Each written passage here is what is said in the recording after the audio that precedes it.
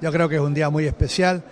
Esta es la bandera que llevó la división Cabot del ejército del Libertador General San Martín, del ejército de los Andes, que tuvo una sola gesta y que fue central, que fue la batalla de Chacabuco, luego se disuelve ese ejército. Eh, la división Cabot fue creada, fue integrada por San Juanino, fue bendecida en San Juan y acompañó a Cabot. La hija de Cabot se la regala al, ya había sido presidente Mitre, historiador Mitre vendría a ser, y Mitre con muy buen criterio la dona al Museo Histórico Nacional.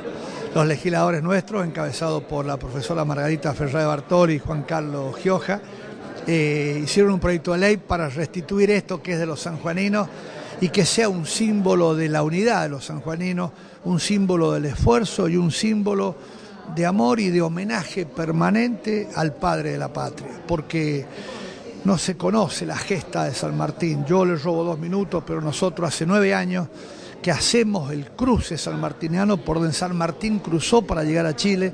Créame que no es fácil. Lo hacemos ahora con muchas comodidades. San Martín hace casi 200 años lo hizo con 10.000 hombres, no es poca cosa, lo hizo muy bien. Vino Chacabuco y vino la libertad de América porque de ahí en más empezó luego la de Chile, la de Perú y de ahí, bueno, vino este, esta América, esta UNASUR y esta América Latina este, libre del yugo español y de ahí en más empezamos a construir la nacionalidad y a construir la patria porque hoy tenemos patria. Y esta bandera en San Juan significa, qué sé yo, la unidad de los sanjuaninos, el orgullo de los sanjuaninos y el homenaje permanente a todos los que lucharon para que hoy seamos libres. Esta fue una ley impulsada por el gobierno, por, diputados de la provincia de San Juan y bueno, a veces cuesta mucho ver llevar a cabo leyes que se, que se firman y que, este, y que se sancionan, pero bueno, como es política del secretario de Cultura tener una política federal, esto se ha hecho efectivo sin ningún tipo de problema. Es más, este, estamos muy contentos de que la, la provincia recupere su bandera y los trabajos de restauración que se van a hacer van a hacer que esta bandera recobre su plenitud. Una bandera muy particular porque tiene el escudo pintado. Me contaba recientemente la restauradora que es una bandera de dos caras, con lo cual hay que ver cómo se exhibe bien. el escudo se ha recortado y se ha pegado. Bueno, lleva una tarea de restauración muy minuciosa, pero está en las mejores manos porque bueno, la restauradora que lo va a llevar a cabo es eh, de una minuciosidad impresionante.